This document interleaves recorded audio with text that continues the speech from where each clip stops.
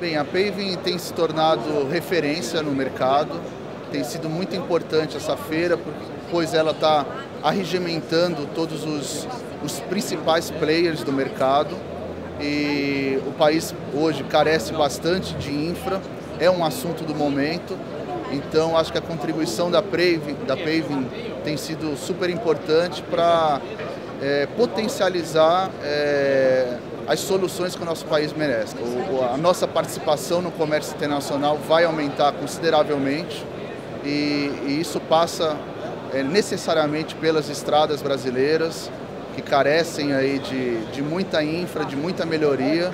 Então o mercado tem tudo para aquecer bastante aí nos próximos meses.